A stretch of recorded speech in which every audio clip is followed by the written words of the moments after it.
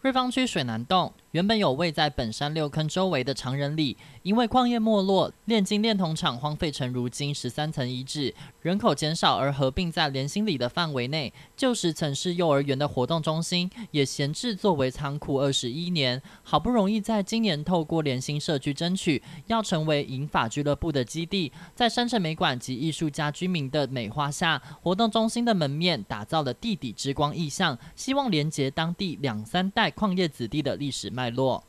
这一个呃立面的一个视觉意象，其实这是一个矿工的一个脸哈，比较抽象的一个手法。那这就代表着矿工在坑道内哈，带着头灯哈，那这样子的一个侧面的一个脸像。除了这个地底之光的一个脸像之外，那我们在这个现场的这个背景呢，我们会把过往矿工的一些呃手工的工具，在这个地方再做一个展示。活动中心因为长期漏水与缺乏配电设备，活化第一步是先进行清空，接下来也会透过城乡局计划和新北市议员一起的补助款添购室内陈设，期盼未来打造妈妈教室，带动里内观光产业。一旁的长人亭是不少摄影爱好者拍摄十三层遗址的热门景点，因为社区交通封闭，只有单一的出入口，公车是居民游客重要的交通工具。只是没有候车亭遮风挡雨，强劲海风容易吹坏雨伞，很不方便。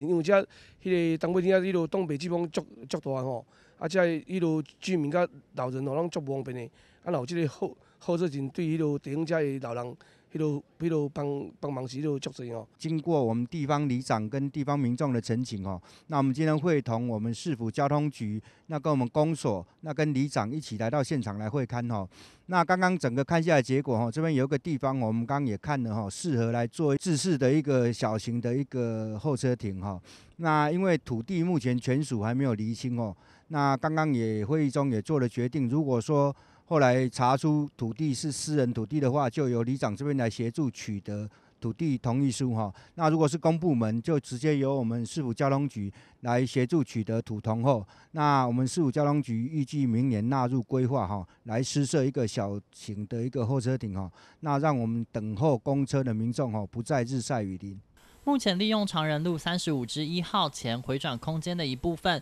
要做一般小型候车亭。希望尽快厘清地主，早日施作战体，对地方观光、长者服务品质能大大提升。记者肖浩文瑞芳采访报道。